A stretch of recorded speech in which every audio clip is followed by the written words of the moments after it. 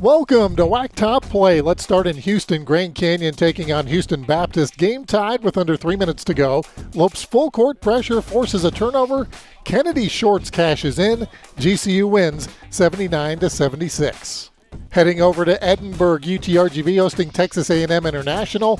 Sean Ray, after getting the board on one end, gets the two-handed slam.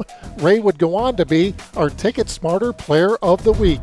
Now for the top two plays of the week as voted on by the fans. Checking in at number two, Gooden Plenty. Dixie State's 5'11 guard Cameron Gooden with the steal, the Jets, and the slam. His teammates love it as the Trailblazers beat Bethesda 90 to 69. And our WAC top play of the week is 47 feet. California Baptist Ani Oleda drains the half court buzzer beater at Pepperdine. Oleda's shot made the Sports Center top 10 and helped the Lancers to a 75 67 victory.